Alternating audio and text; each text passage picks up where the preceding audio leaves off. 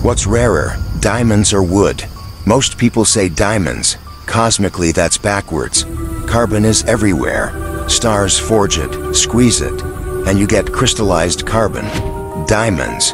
We find tiny ones in meteorites and likely vast layers inside giant planets and dead stars.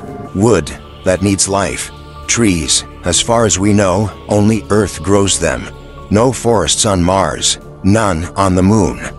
On Earth, wood feels common because photosynthesis has been at work for billions of years. But zoom out to the Milky Way, and wood is among the rarest materials anywhere. So if you measure value by scarcity, don't just think jewelry cases, think galaxies.